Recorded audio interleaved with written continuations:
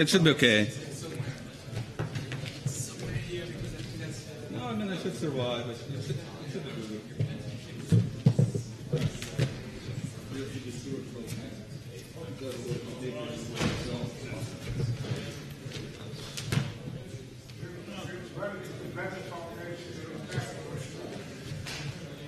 Uh, it, it's me in Russia, and I just work in Blender Foundation, but I'm not sure if it's Blender Foundation, Blender Institute. I'm confused. So I don't know. So, shall we start? Yeah. So just get started. So, yeah. Let's wait for someone to, to, to come in still, and yeah. Okay. So. let's just get into it. So uh, let's talk about what was happening last year, and we count years from the Blender conference apparently. So since previous Blender conference, we've been working like on uh, infrastructure stuff, which is not so visible for everyone, but which took like quite reasonable amount of effort from like me, Campbell, and Brecht, and we switched basically from SVN to Git. We're still not sure if it's like everyone is happy with this, but for us it works pretty good. You know, it was also like some motion tracking improvements, like smaller one, and some improvements in other areas like animation. And yeah, I also work on, well, one of the biggest projects was OpenSubdiv, which will be covered later, and I tried to pick up cycles, and it still gets like, it's not the easiest thing in the world, you know. So yeah, still trying to, to, to implement something significant in there. But yeah, there was lots and lots of more smaller issues, smaller stuff done. So in today's presentation, we will talk about dependency graph a little bit. And the no technical specification because last year it was like I was throwing all the technical stuff into the presentation. So, hey, it's good, but at the end of the presentation, everyone was like, hmm, yeah, I feel sleepy.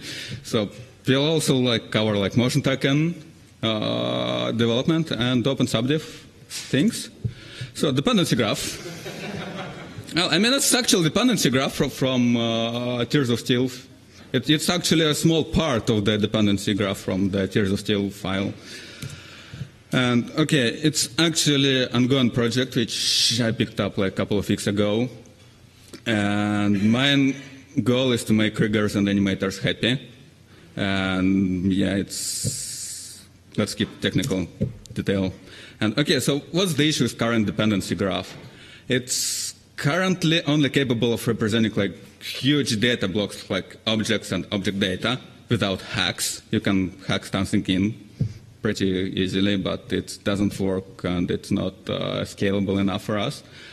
And it basically makes it so scene update function has no idea in which order to evaluate like bones, and which makes uh, artists really unhappy because their rigs doesn't work for the reason they don't know.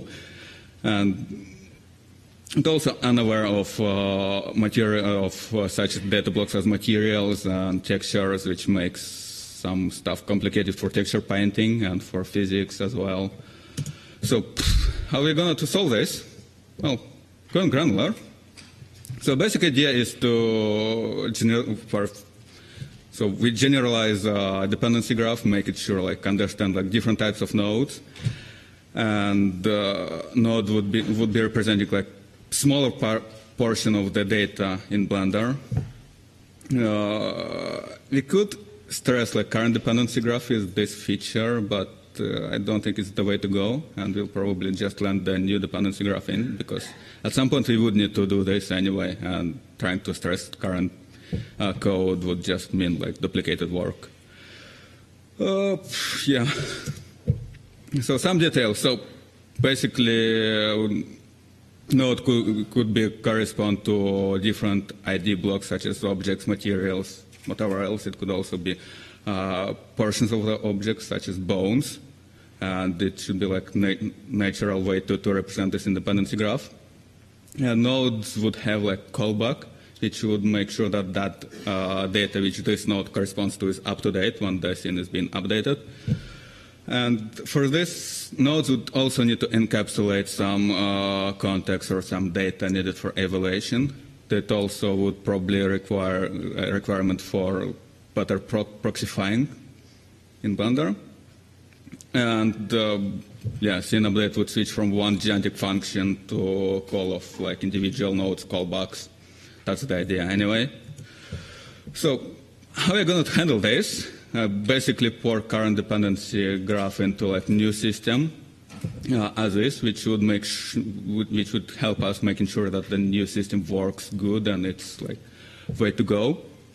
And we probably will use a previous work from Joshua Leung and Thomas, uh, Thomas Lukas Tönne, uh, who work on the dependency graph refactor branch, basically.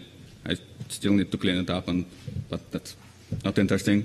And once we're sure that the new dependency graph works with all the ID blocks and stuff like this, we'll go to granular.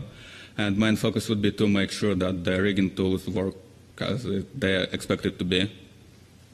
And then we will just continue with making the nodes more granular and uh, yeah, solve the remaining issues. It's kind of a bit different from the approach in the current branch because it tries to solve all the issues at the same time. And it's kind of scares me, like, hey, what if something goes horribly wrong, then it wouldn't have like working Blender. So just the smaller steps. But anyway, that's I think all for, for, for the dependency graph. And next thing would be like motion tracking, which is much more fun, I think. So there was quite a reasonable amount of smaller stuff implementing, such as weighted tracks. And Sebastian, yes, Sebastian here, by the way. Oh, here you are. So he showed this already, so he's stolen like half of the presentation, probably. And yeah, we also like made some improvements and speed up to camera solving and bundle adjustment. Well, bundle adjustment is just like refining the position of cameras and the thing which makes the projection er-, error really small. We also made a couple of improvements in Planar Tracker, and we also worked on some more robust, making some parts more robust, such as like feature detection. It's this made actually the, the new feature detector made the uh, feature detection slower, but it detects more robust features. You might wonder why, but there is the answer. Because we're moving to fully automatic tracking pipeline, so basically the gigantic green button which you press once, and it gives you like perfect solution. And yeah, basically the, the current issue of the tracking integration into Blender is that uh, motion tracking algorithm has no idea what's happening in the scene already. So it just tracked one track from frame one to frame two and it forget all the information. And uh, the way to, to, to support fully automatic auto tracking thing would be to make it so tracking algorithms have all this data needed for the things. Uh, so me and Keir were working on Amsterdam in May, making a landing a new pipeline into LibMV and agreeing on all the API and stuff like this. And we made it pretty much working. Like it's basically at this stage it doesn't have any improvements currently, but like visible for user for, for uh, developers of LibMV would mean that hey, I've got all the data needed for all the fancy algorithms, and one of the results is the predict, predictive tracking, which Sebastian actually demonstrated yesterday, and he didn't explain why it's so fast.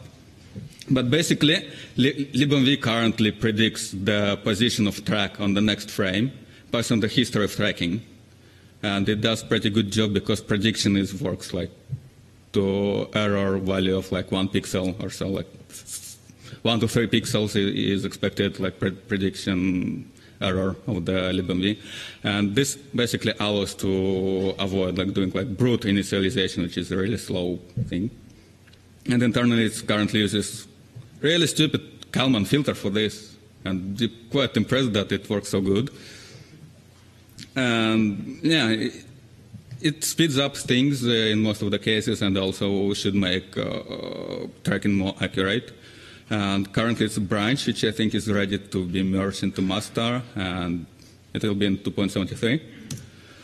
So the plans for motion tracking would be to, to finish the new auto track pipeline, finally add green button into Blender. So I would definitely need that Canadian guy, Jeremy Earl, for this. And the new pipeline also allows to solve multiple clips, like the, the, the same action from shoot it with multiple cameras, like witness camera or motion capture cameras. It also supports survey data, like naturally, so LibMV can uh, access all the data it needs to, to, to, to use the survey shot.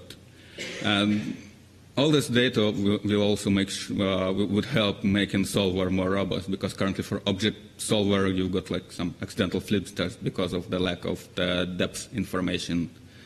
Feels like getting uh, being able to access tracking history from solver would help preventing this. But it's just like really tiny little, little things which would be possible with new pipeline things. So we'll get gradually to the project. And yeah, next thing is well, OpenSubdiv. It's I don't know. It's a Sintel Dragon. Probably should have copyrighted this with Blender Institute, Creative Commons things. Anyway, so what OpenSubdiv is about? Well, basically, it's just integrate OpenSubdiv into Blender. What could possibly go wrong? But hey, internally, it's a little bit more complicated.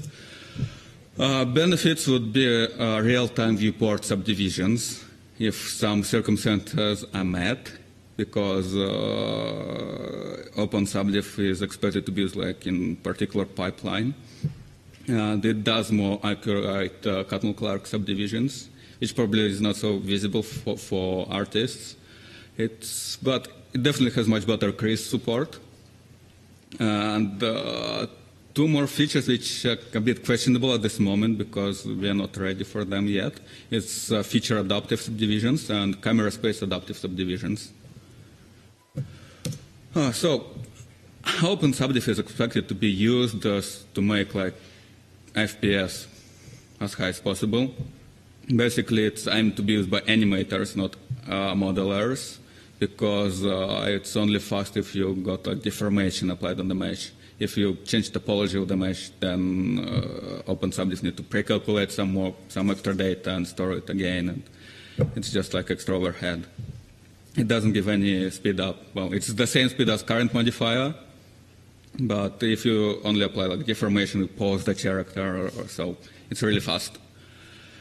Uh, topology changes are possible, just wouldn't give any improvement apart from better creasing and uh, it relies on uh, GPU tessellations, so it means that only viewport can benefit currently. It's not, it's not something which uh, would be like possible to access directly from CUDA or so. It's just different aspect of the issue. So what are the challenges? Currently Blender is like really old OpenGL, OpenGL and uh, OpenSubdiv relies on new OpenGL features. It wouldn't be an issue if 4.6 wouldn't force us to not combine all the new OpenGL. So we, first we would need to, to, to, solve, to finish the viewport upgrade branch to make sure that to, to be able to use all the features from OpenSubdiv. And uh, another issue that uh, Blender currently, in some areas, it's realized that all the data from derived mesh, like final representation of the object, is all available on CPU, which is not anymore true for OpenSubdiv because it's all GPU. There's some limitation of OpenSubdiv currently, such as like non-manifolds. For example, it doesn't support like uh, loose edges. It's just not possible to pass loose edge to OpenSubdiv.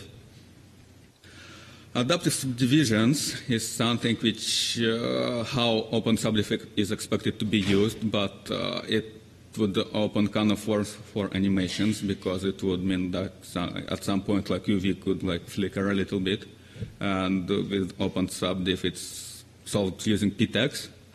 So ptex is good to have in Blender anyway. So eventually I think we could go feature adaptive. Well, I mean it's all doable, just needs some more time. So current state of the branch is that so far we used OpenSubdiv 2 And recently OpenSubdiv 3 was announced, which brings like major updates, which Blender would benefit a lot because uh, currently it does have quite a reasonable amount of overhead just representing like data. It creates like intermediate storage and passes it to the GPU and all. It's just like non-memory efficient and with new API it would be possible. And they uh, also reduces number of uh, CUDA kernel calls or any kernel calls, which presumably makes subdivision even more fast, which is good. So I don't feel like finishing integration of, uh, the, of OpenSubdiv 2, and I will just wait for OpenSubdiv 3 to be like finalish uh, API, and then continue with integration. And yeah,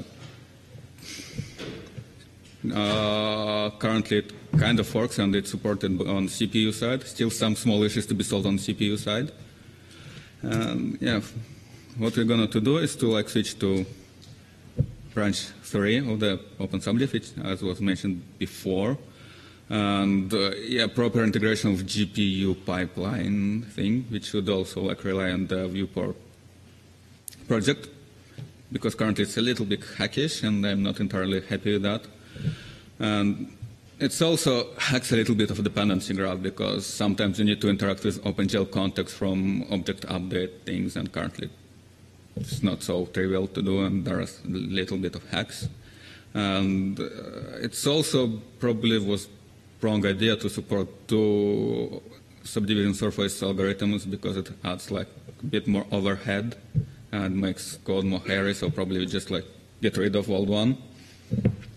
And yeah, real challenging stuff would be to support like uh, open subdivision cycles like natively. So because most of the engines currently are just tessellates on CPU and passes the high-res mesh to, to BVH. But I think it was, there are techniques to, to intersect the array with the subsurf like directly. So you don't have like triangles in BVH, you've got like limit surface in BVH and you intersect array with the limit surface. It should be possible. It's a little bit tricky, but ideally that's what you want. But wait, there is more, because uh, we've been working on some project with Martijn Berger, if I pronounce it correct.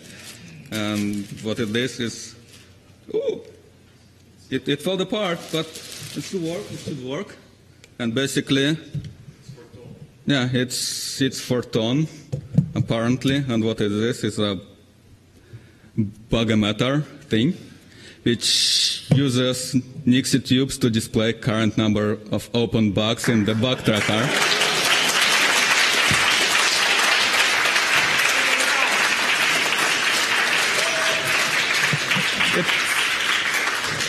It's a little bit damaged because it fell apart while I was bringing it. We will glue it together. We will glue it together again, Yeah. but, but just hold it like this, and Notice it has only three digits though. We can But it works, right? yeah. It works.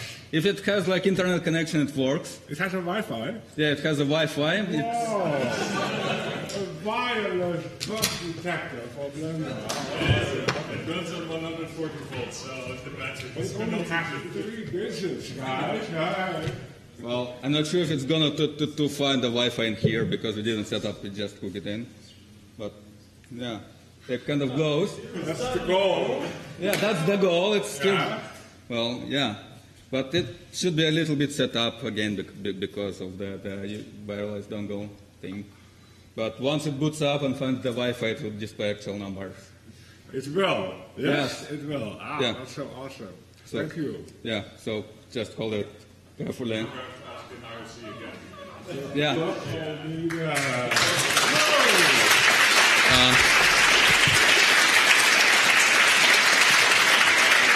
So, yeah, so, so this is basically an open hardware project, so all the files and schematics and PCBs would be published somewhere. Yeah. Can we have a Blender Cloud thing for this? Yeah? Cool. Yeah, and I think yeah, I think that's it. Do you have some questions? No questions? Well, what do mean cycles talk? Thomas covered cycles like yesterday. Why would I talk about it again? I wanted to, didn't want it to be like long and boring presentation, you know. I wanted it to be short and, yeah. So, auto tracker, I, I don't know. It's just like would happen eventually somewhere in the future. So we, we, we, we'll, we'll keep like gradually to, to, to the auto track pipeline. We have a few minutes for questions. Or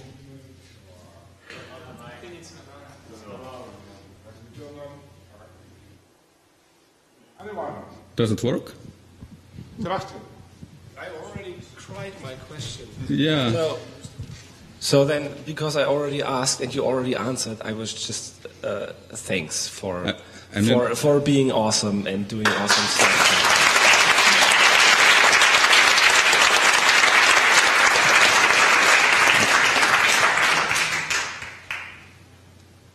Okay, then we, we stop the day session. We have a little break. Yeah. Oh, thank you.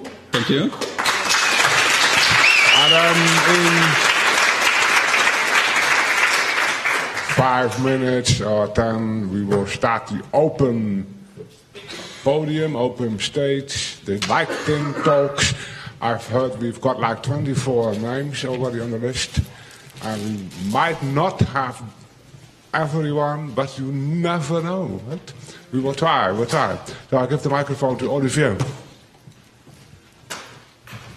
So, yeah, I was actually saying five minutes break. And the beer. Oh, that is Martijn. Oh, that's Martijn. Hey man, thank you. Yeah, no problem. Let's hope it goes down the counter. Isn't That was the idea. It's not the website? We'll have a very fast website. TCB has a vendor logo. One good here as well. Okay. This. Yep. China.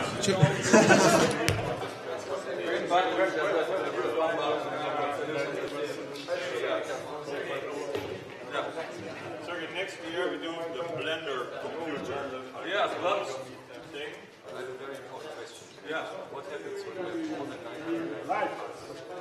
We have screwed up jump in different now. Tom, we will fix it for you. There's no minus.